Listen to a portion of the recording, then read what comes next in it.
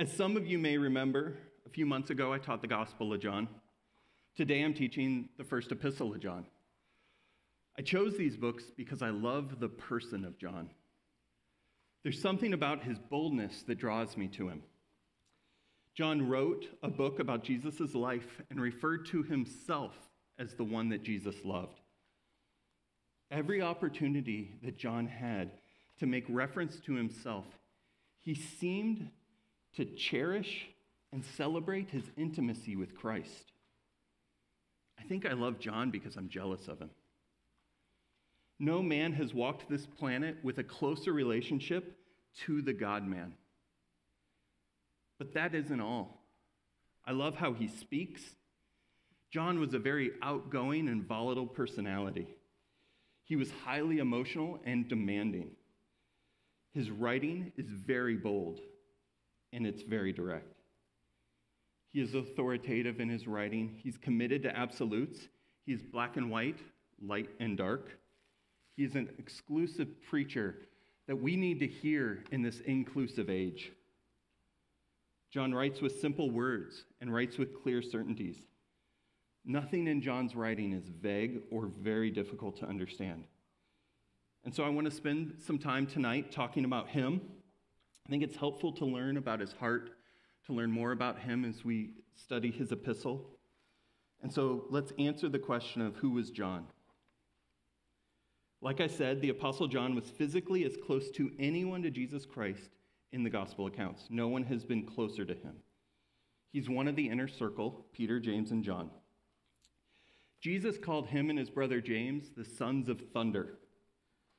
That title doesn't exactly exude humility, so Jesus had some work to do on his heart. He was bold, he was self promoting in his ambition. Along with his brother James, he asked his mom to ask Jesus if they could sit on the right and left hands of Jesus in the kingdom. He had a passionate personality. Like I said, he was intolerant and he was very ambitious. When James wanted to bring down fire and burn up the Samaritans, John was right there and agreed with him. Those are the sons of thunder. But something changed in John. He went from the one that argued who was the greatest in Mark 9 to one that church history calls the apostle of love.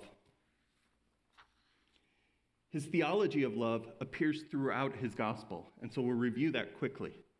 He wrote in his gospel that God is a God of love, that God loved his son, that God loved Christ's disciples, that God loves the world, and God is loved by Christ. He taught us that Christ loved the disciples both as a group and as individuals that Christ expected men to love him, and that Christ taught we should love one another.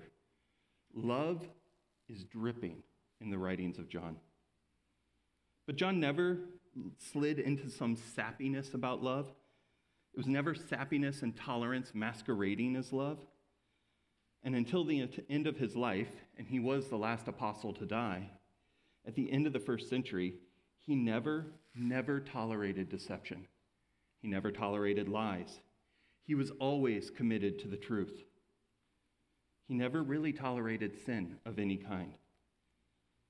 I think the Lord knew that the most powerful advocate of truth had to also be the most powerful preacher of love.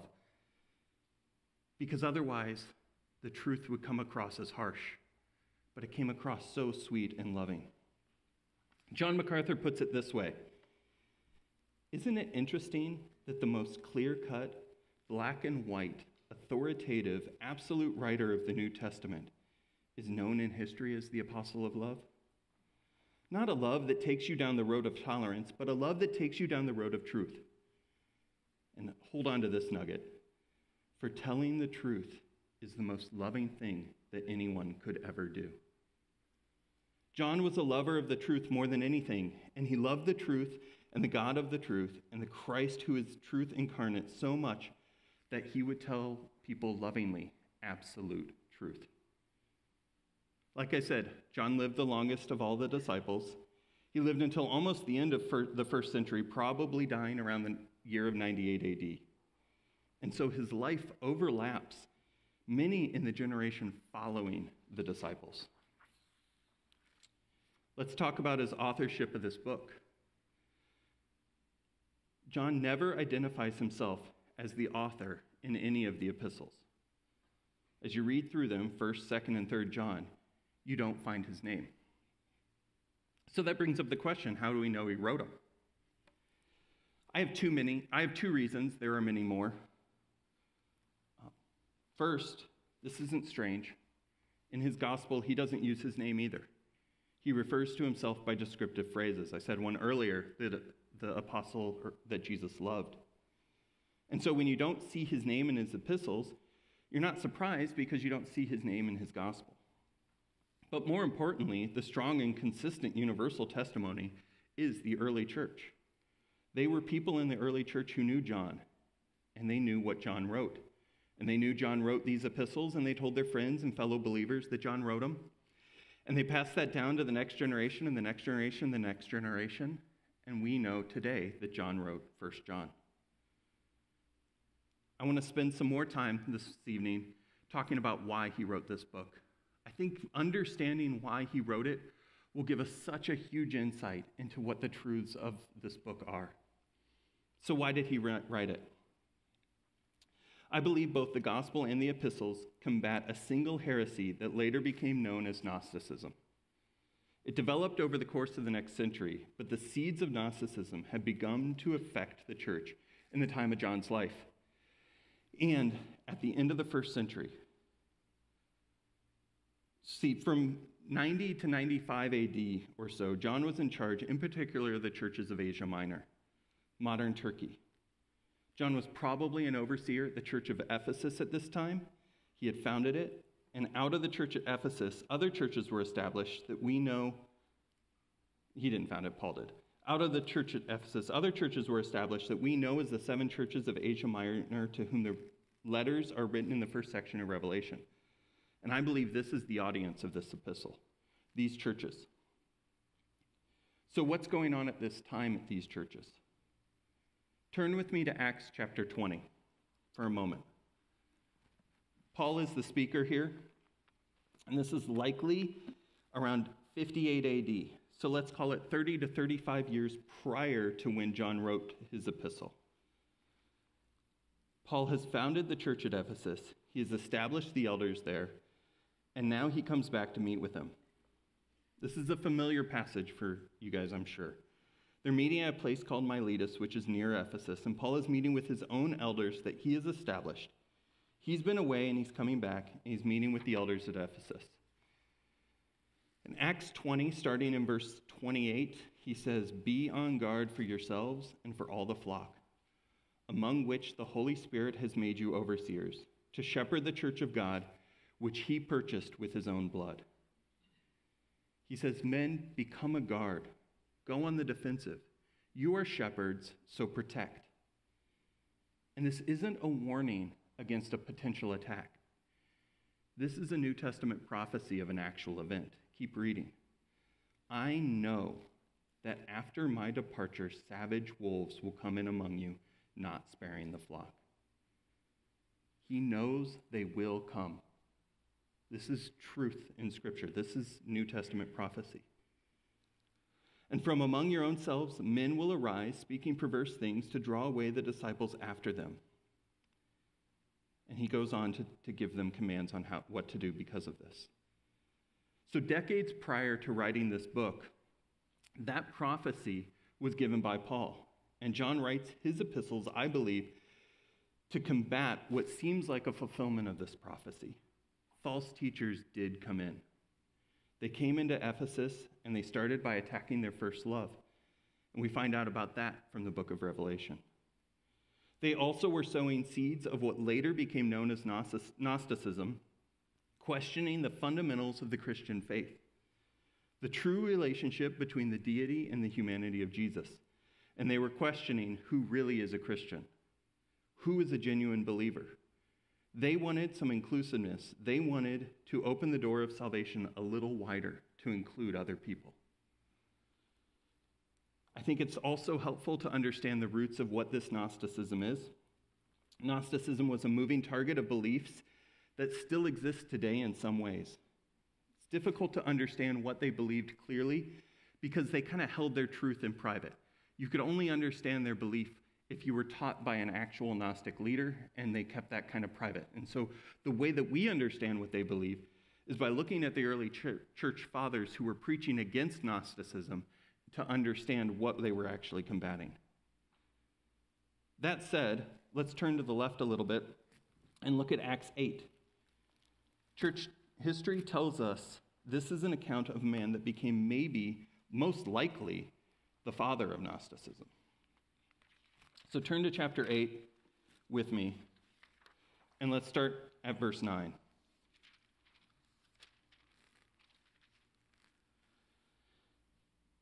Now there was a man named Simon who formerly was practicing magic in the city and astounding the people of Samaria, claiming to be someone great. And they all, from the smallest to the greatest, were giving attention to him, saying, This man is what is called the great power of God. And they were giving him attention because he had for a long time astounded them with his magic arts. And when they believed Philip proclaiming the good news about the kingdom of God and the name of Jesus Christ, they were being baptized, both men and women. Even Simon himself believed. And after being baptized, he continued on with Philip. And as he observed signs and great miracles taking place, he was constantly astounded. Now, when the apostles in Jerusalem heard that Samaria had received the word of God, they sent them Peter and John, who came down and prayed for them that they might receive the Holy Spirit. For he had not yet fallen upon any of them. They had simply been baptized in the name of the Lord Jesus. Then they began laying, hands, laying their hands on them, and they were receiving the Holy Spirit. Now, when Simon saw that the Spirit had been bestowed through the laying on of the apostles' hands, he offered them money, saying, Give this authority to me as well, so that everyone on whom I lay my hands may receive the Holy Spirit. But Peter said to him, May your silver perish with you, because you supposed you could obtain the gift of God with money. You have no part or portion in this matter, for your heart is not right before God. Therefore, repent of this wickedness of yours and pray earnestly to the Lord if possible, the intention of your heart may be forgiven. For I say that you are in the gall of bitterness and in the bondage of unrighteousness. But Simon answered and said, Pray earnestly to the Lord for me yourselves, so that nothing of what you have said may come upon me. There are a few things we can observe about Simon from this passage. Simon the magician was a charismatic man. He was able to garner a following and convince those around him that he was a great man. Simon the magician deceived Philip into thinking he believed the gospel, so much so that he baptized him. And then Simon became a follower of Philip, and he was among them watching them. And Peter and John were sent there and had a first hand experience in this situation. John was there. They saw that God had not, in fact, saved Simon he did not receive the transformation of the Holy Spirit. In fact, he was so materialistically driven that he wanted to buy the ability to save people. He really had no true understanding of the true gospel. So, what did Peter see and say about Simon's heart? That Simon cared more about silver than God. Simon's heart was not right before God, he was holding on to his wickedness and he was in bondage to it. And verse 24 tells us that he would not even pray. Bitterness had taken him over. The Bible doesn't record what happened next, but Irenaeus, Irenaeus a Greek bishop from about AD 130, writes about him. Simon actually later believed himself to be God. In this account, Simon preached himself as the God who first created. He claimed he descended into human form to bring things to order. Although the account of Simon's religious beliefs includes no reference to Gnostic teaching, Irenaeus concludes that Simon gave the falsely so called Gnostics its beginnings. If I were John, this circumstance would live with me it would stick with me. It would influence my shepherding. And I believe Simon or his followers had an influence on the audience in 1 John. I believe there's a direct connection in John's mind. Turn with me finally to 1 John. And let's peek at chapter 2 for a second.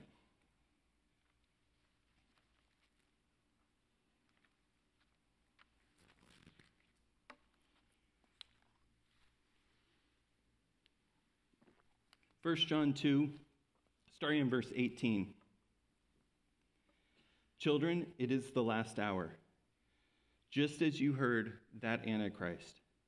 By the way, this is not the Antichrist, but someone that denies Jesus is the Christ. Children, it is the last hour. Just as you have heard, that Antichrist is coming. Even now, many Antichrists appeared. From this, we know that it is the last hour. They went out from us, but they were not really of us. For, they were, for if they were really of us, they would have remained with us. But they went out so that it would be manifested that they are all not of us. And then I'll go ahead and read. 413 says, By this we know that we abide in him, and he in us, because he has given us his spirit. I think he's referencing Simon the magician in these verses. This is a clear section of the book that I believe John had Simon on his mind when he wrote.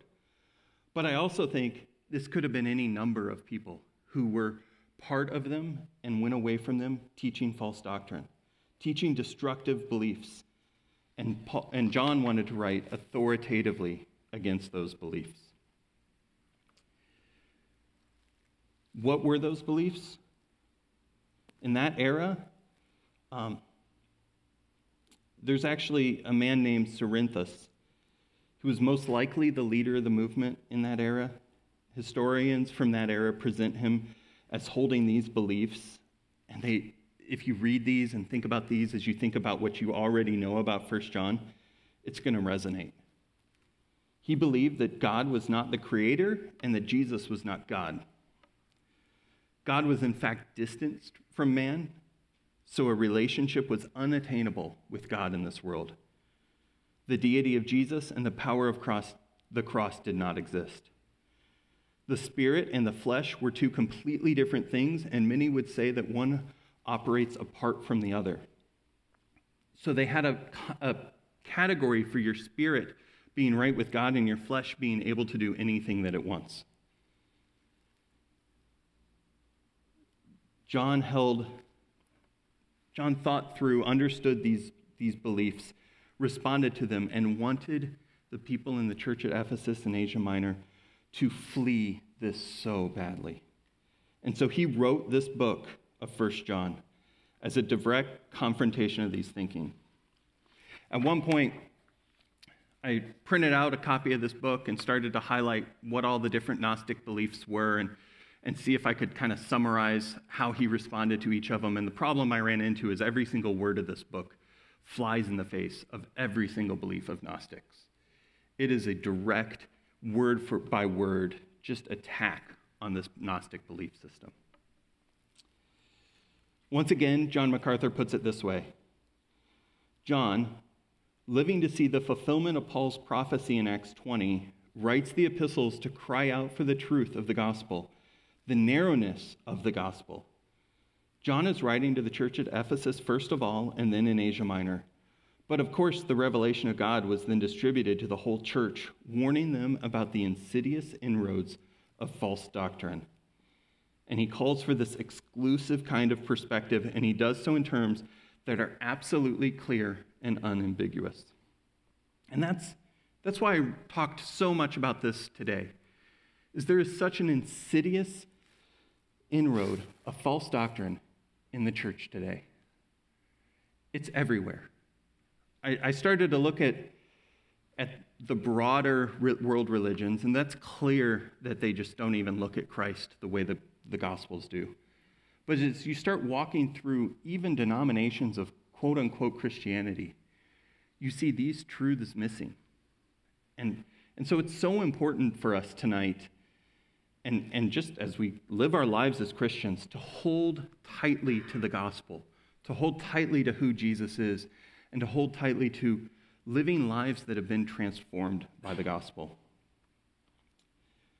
So now we're going to start 1 John, halfway into the sermon. Um, today we're going to see something from 1 John. We're going to see that a true follower of Jesus knows the truth and their life is completely transformed by it. Today, I want to encourage you to apply this to your own hearts first, but also use it as a filter for those that are your teachers. Do those you listen to embrace the truth? Are they transformed by it? Do you allow people that are not transformed by the truth of the gospel to speak into your life? Do you allow them to speak into your parenting, into your marriage? That's a dangerous place to be. Trust yourself with people who have been transformed by the gospel. So, we're going to look and see that a true follower of Jesus knows the truth and their life is completely transformed by it. If you're not certain that you are a follower of Jesus, we will review the truth that you must know, and we'll review what your life must look like if you know that truth. And if you are certain that you are a follower of Jesus, use this lesson as a protection. Don't listen to people that divert from these truths or have not lived a life transformed by them. Remember, holiness is vital. So we're going to split this up. Point one, we're going to survey First John and talk about what we need to know. And then we're going to go back and survey it and show what transformation looks like. A true follower of Jesus knows the truth. You're probably still in 1 John. Turn back to the very beginning.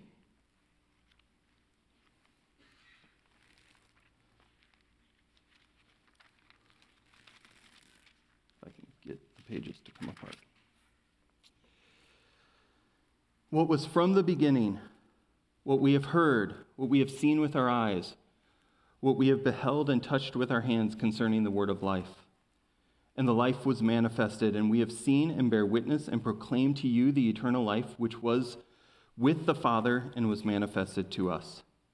What we have seen and heard, we proclaim to you also, so that you may have fellowship with us, and indeed our fellowship is with the Father and with his Son, Jesus Christ. And these things we are writing so that our joy may be made complete. Jesus, God man, came in physical form. He was visible, he could be touched. The gospel of eternal life is not some mystical truth. John saw Jesus, he was a witness to Jesus. He wrote his account of this gospel, of this in his gospel, and is highlighting it here. In verse 2, Jesus' life was revealed and is a witness so that we can hear about eternal life. Do you remember what John said his purpose of writing his gospel was? It's in John chapter 20, verse 30. He says, Therefore, many other signs Jesus also did in the presence of the disciples, which are not written in this book. But these have been written so that you may believe that Jesus is the Christ, the Son of God, and that believing you may have life in his name. There are always people who will say faith is something that is entirely divorced from evidence. But that's not in the Bible. Faith Biblical faith is believing in something or someone on the basis of evidence and acting on that. In this case, John has provided evidence for the full deity of Jesus so that readers, whether in his age or ours, might believe it and commit their lives to Jesus as their Savior. In John's Gospel, we have an accurate record of things that were said and done in Palestine almost 2,000 years ago by a Jew named Jesus of Nazareth. They are presented to us as evidence for his extraordinary claims.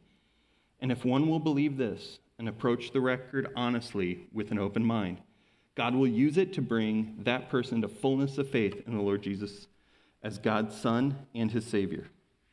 That was his purpose in writing the gospel, and he's very clear about it here in 1 John. Look back at those words that I read in the first few verses what is the result of a proclamation of the reality of Jesus? It's eternal life, it's Christian fellowship, and it's fellowship with the Father and Jesus. John wants the readers to understand that firsthand interaction with Jesus Christ will bring a transformation of fellowship.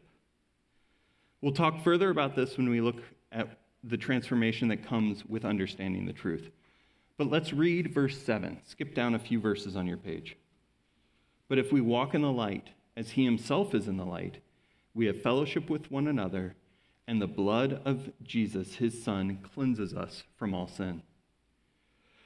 The next truth is that the blood of Jesus, God's Son, and don't lose sight of how important it is that he's referring to Jesus as God's Son. In Gnostic beliefs and in beliefs we see all over this planet, he was created as a lesser being.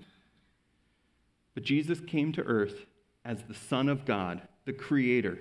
And that is so important that we, we trust in that and that truth is established.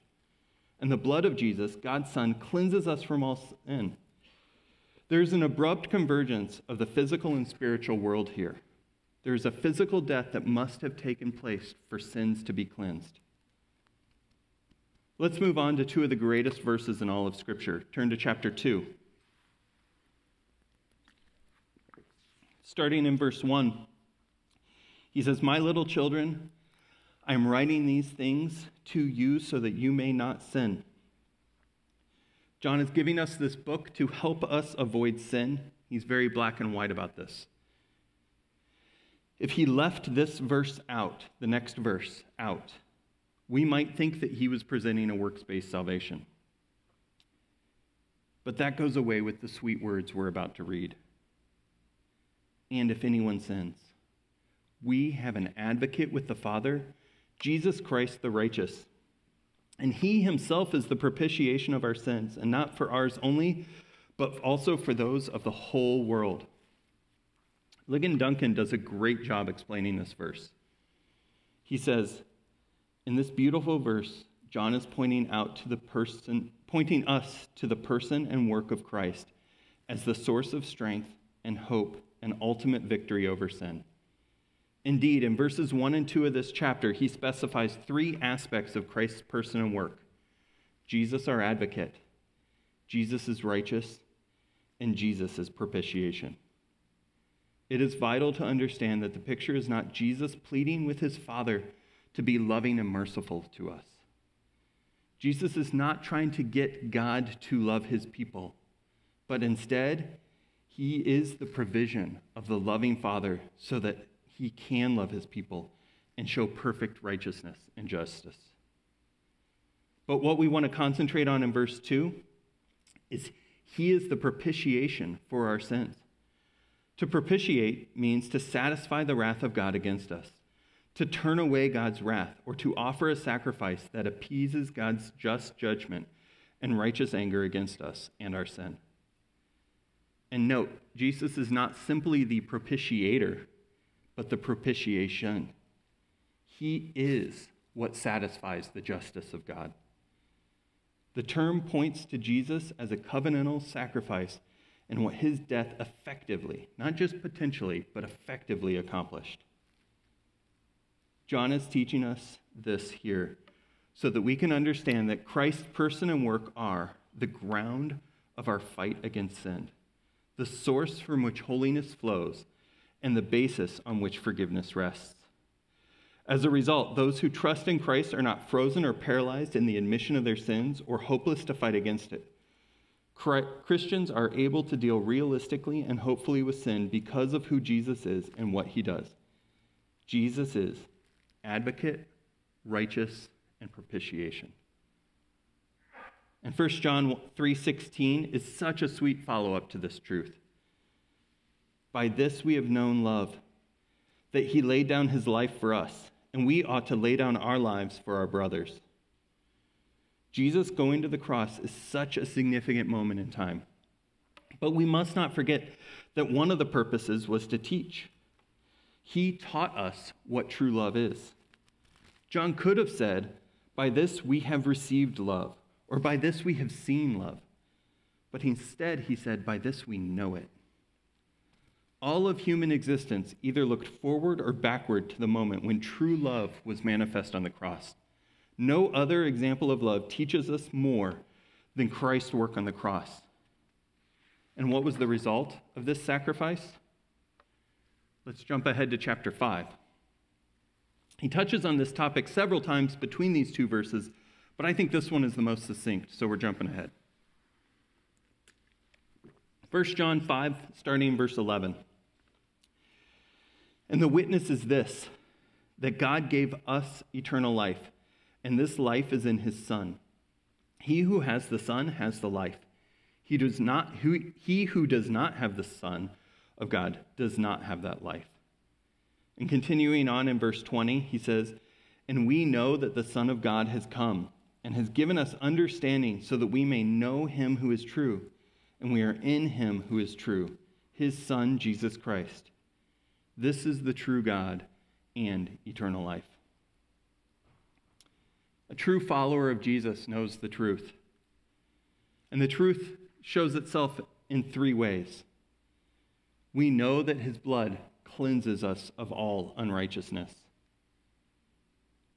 We know that Jesus is our advocate, he's righteous, and he's our propitiation and we know that the Father sent Jesus, gave us life through his Son, and that there is one true God that gives eternal life. As Christians, these truths aren't new to us. These truths are central to us. And that leads me to my next point. A true follower of Jesus is completely transformed by the truth. John highlights this transformation in two ways. He highlights it both in deeds and in relationships.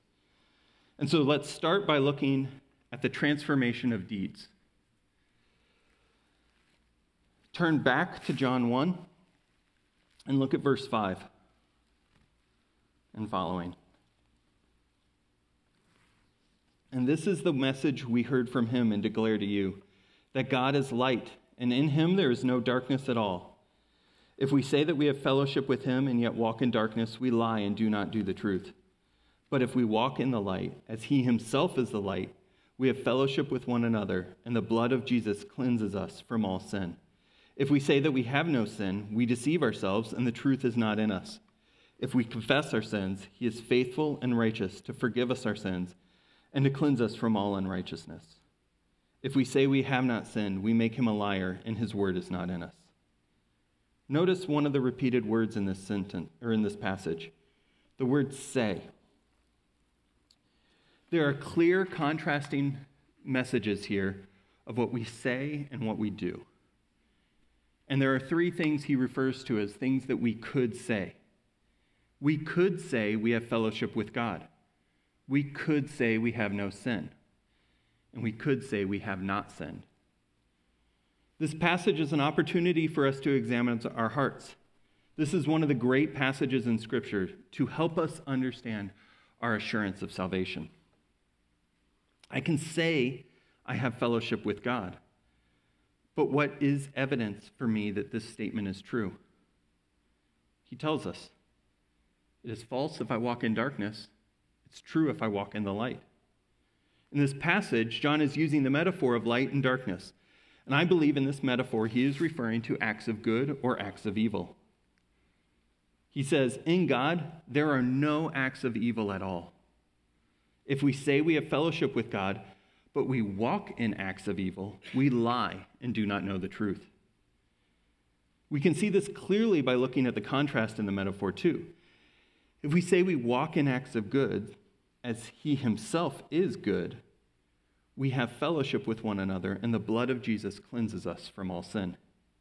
He keeps going from there, though. He does not want to be misunderstood.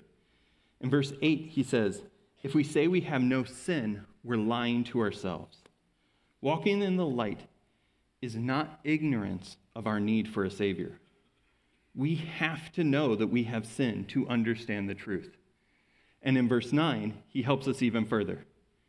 If we confess, we must confess our sins. And if we confess, then what? He is faithful and righteous to forgive us our sins and cleanse us of all unrighteousness. So is this statement, if you say you have no sin, asking for perfectionist, perfectionism? Of course not. He's asking for quite the opposite. He's asking for a heart of confession of sin. He's looking for a disposition. Think back to Simon the magician. What did Peter perceive in his life? He cared more about silver than God. His heart was not right before God. He was holding on to wickedness and bondage to it, and he wouldn't even pray. Bitterness had overtaken him. This is a man walking in darkness, but saying he is without sin. Which leads us to the last thing that we cannot say, and that is that we have not sinned. From this passage, how do you know that God has saved you? You must confess your sins, which means you acknowledge they were there and they will continue to be there. This is not a one and done statement. Confession does not start now and end now, it starts now and continues on until glory. But you must walk in good deeds, not to be saved, but to know that you have been saved. He doesn't say, confess your sins and then walk in the light, and he is faithful to cleanse. He says, confess your sins, and he is faithful. But if you walk in darkness, you don't know the truth of the gospel. You may be like Simon the magician from Acts 8 and say you're saved, but the fruit of walking in acts of goodness is not there. He reiterates this point in chapter 2. Let's start at verse 3. And by this we know that we have come to know him, if we keep his commandments.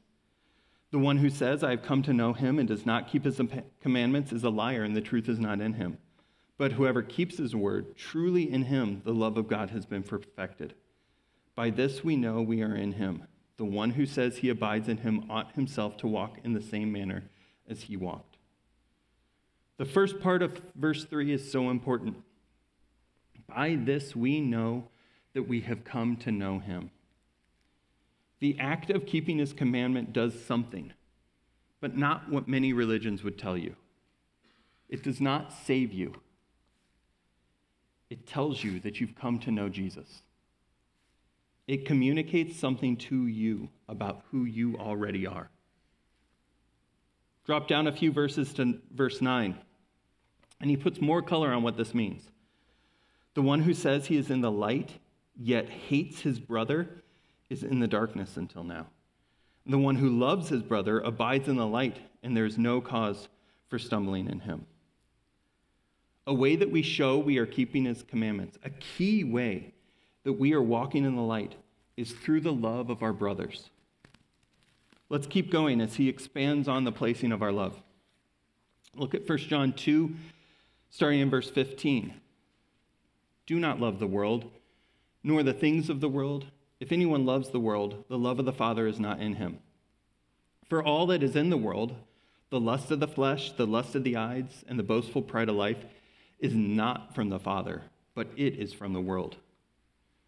We must love our brothers. We must not love the world. Once again, not so that God will love us, but to show ourselves and to those around us that the love of the Father is in us. How does this passage describe the love of the world? He gives it three ways. Lenski's commentary described it really well, so I'm just going to cheat and read his commentary. The lust of the flesh is the sinful desire springing from the flesh or depraved nature which seeks sinful gratification.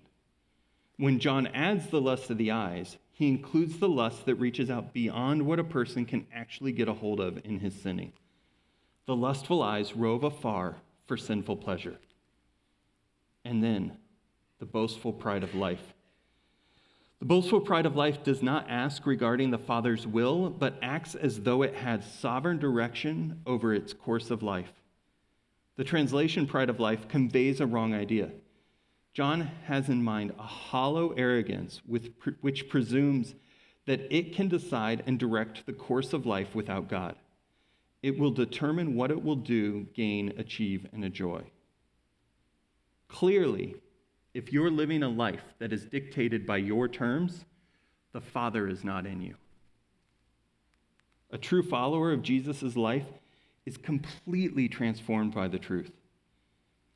Sin will be ever present, but do you confess it? Do you flee from it? Do you make no provision for it? Do you live your life dictated by God's terms, Or are you allowing the lust of the flesh and the lust of eyes and the boastful pride of life to rule your heart? That's the difference. That's what he's talking about. And then he goes on also to tell us how our relationships change. All right, we're going back. See, we're circling just like Omri talked about, but we're circling through First John. Um, so, verse 1, or chapter 1, verse 7. I've read this already. If we walk in the light as he himself is in the light, we have fellowship with one another, and the blood of Jesus, his son, cleanses us from all sin.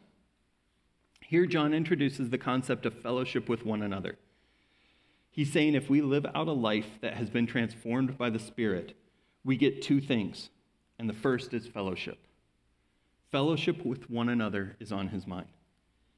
It's kind of amazing to me that he parallels fellowship with one another in the blood of Christ. That is how important fellowship is in John's mind.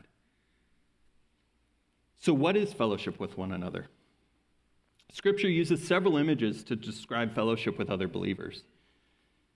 Scripture talks about how you're in the household of God. And this is a household where love and hospitality are the foundation for all interactions. You're in the family of God. This isn't a family that has awkward Thanksgiving conversations only. This is a family that is governed by love, tenderness, compassion, and humility. This verse in 1 John gives us a glimpse at what fellowship looks like. We walk in the light as he is the light, we have fellowship with one another. Jesus Christ, then, is the source and fount of all spiritual communion. Only when rightly related to the Lord do we experience true fellowship with another Christian. Just as light and darkness are incompatible, so a believer can have no real fellowship with an unbeliever. Neither can the Christian be in fellowship with one who walks contrary to the teaching of Christ or a professing brother who is immoral, idolatrous, a drunkard, or a thief. True Christian community and fellowship pours out of lives that are transformed. Let's go ahead and jump to chapter 4. This verse is familiar. It, it still reads with the melody of the song I listened to growing up and sometimes I have to edit it out of King James. Beloved, let us love one another. For love is from God, and everyone who loves has been born of God and knows God. And the one who does not love does not know God, because God is love. By this, the love of God was manifested to us that God has sent his only begotten Son into the world so that we might live through him. In this is love not that we have loved God, but that he has loved us and sent his Son to be the propitiation for our sins.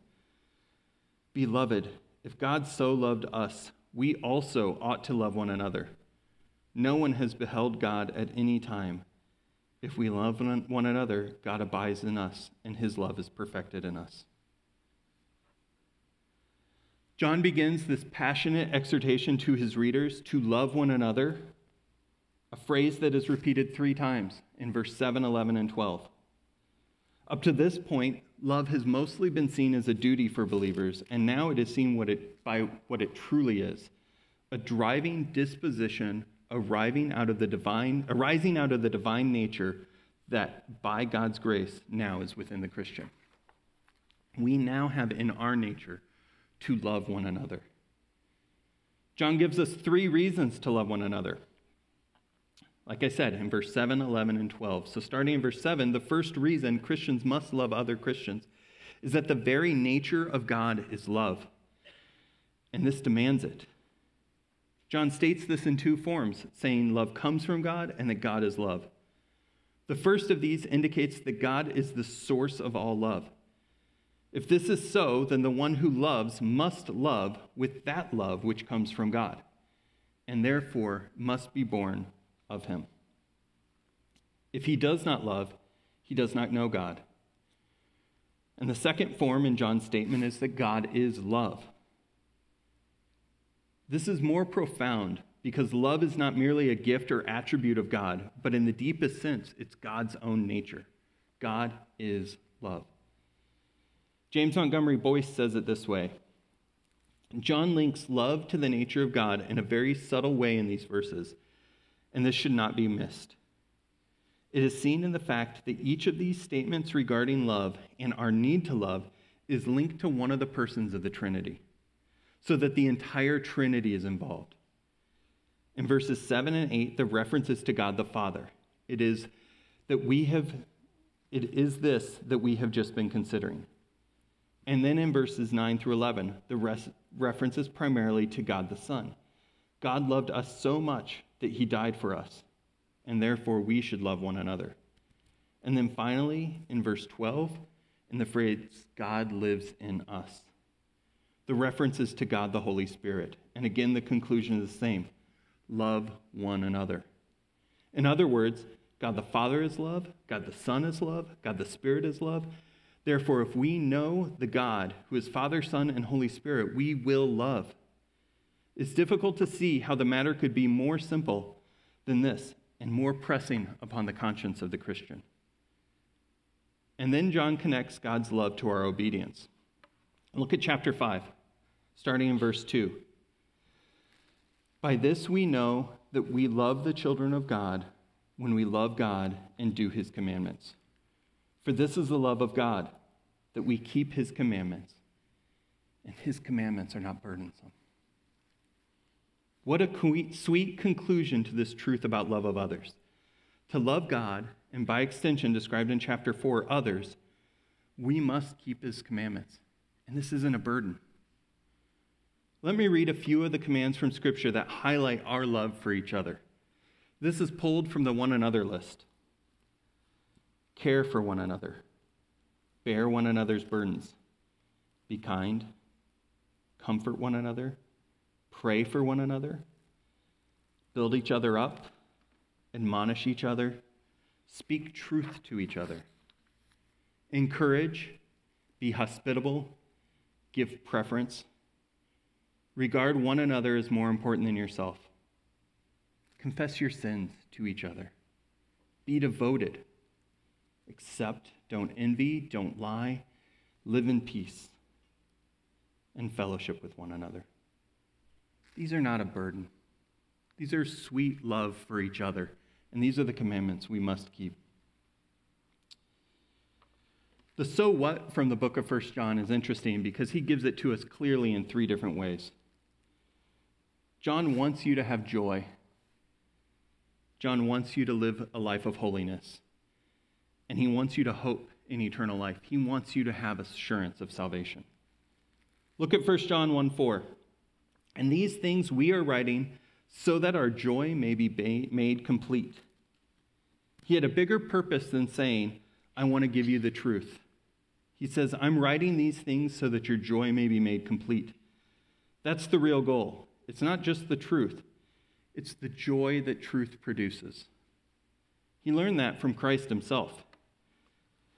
You look at John 5 or 15 11 in the upper room at the Last Supper, Jesus said, These things I have spoken to you that my joy may be in you and that your joy may be made full.